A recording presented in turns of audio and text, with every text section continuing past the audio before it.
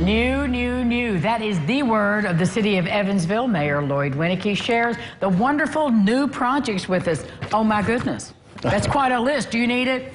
No, no, no. there are so many. You can prompt me. Well, you know, we see, because I'm downtown all the time, I live there, the development up North Main Street and the new apartment complex, the Forge, and now we're going to be feeding those folks in a way that's been needed for so long. Yeah, we're really grateful. Uh, we've been working on finding a grocer for that North Main area, Jacobsville, which is in one of our food deserts in the Right. city. And it's taken months and months and months. Um, Carl Chapman has run point on this for the city along with uh, House, Develop, House Investments, the developer of the block. Um, but we're really proud that um, uh, Dollar DG Market, uh, which is a uh, arm of Dollar General, will go in there. They'll offer fresh meat, fresh produce, fresh vegetables. It will be uh, a really nice addition to that wonderful 180 unit apartment complex that sits right there on North Main. Is it opposite that? I mean, if I'm looking, if I'm coming up North Main and the apartment's to my left, is it the next block over? no, it's in that building. Oh, It- it's in the building. Yeah, so it's on the first floor. There's a, they're taking about 11,000 square feet of uh, of that uh, of the forge right there on North Lloyd, Main. that's so exciting. Yeah, yeah, it's And really super For all of us, Yeah. I mean, down there, we'll take It's a, advantage it's of a that. big win. What is the, uh, how full is the Forge right now? Because I see lots of folks moving Yeah, there. I, I don't. I can't tell you the exact occupancy rate, but I have been told that uh, they're they're renting quickly. So we're really really grateful for the the good work that's going on there. It And it looks, it's a good looking Yeah, facility as well. So much better than what it did before. Oh, of course, right. Great to have more people. We need more people. Exactly. So pickleball is crazy. I mean, it's Oh, we're. We're, we do pickleball here. So we have Well, then you'll love this this announcement. So.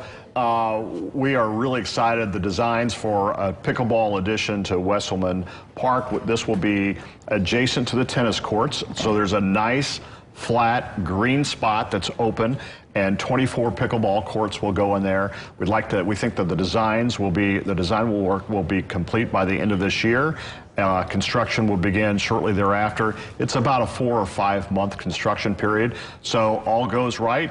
You know, mid next year we'll be cutting a ribbon on a nice new pickleball facility at Wesselman. Well, there's so many teams, so they'll be happy. So you and Ron can bring your rackets and come on. Yeah, over. yeah, because you know we're, we're pickleball crazy. I'm kidding, but so many of my friends play. I mean, they're really fierce about this. Yeah, too. it's hot. It's it's it's really hot. That and disc golf. Yeah, I, I'm a big golfer. Golfer. Yes. I have trouble with disc golf. It's that. Well, I it's a learning curve. It- yeah, very much so. Well, and also new skate park. We've been working on this for many years, and uh, we really appreciate the good work of a lot of uh, young people and young people who are uh, young at heart, who are really skate enthusiasts that have really pushed us to. Uh, we initially thought we would put a skate park at Roberts Park, but now uh, we know it's now going to go on the riverfront. So between uh, Mickey's Kingdom and the new Sunrise Pump Station, we'll break ground on that. We believe in November. And that construction period is not long also. So I would suspect, again, sometime mid-year, we'll be able to cut a ribbon on a new skate park right there on the riverfront. So think about the activated green space that you'll have and just, you know, really literally from Mickey's Kingdom to the pump, pump station because once the pump station opens, all that green space opens to the public, there are big swings up there.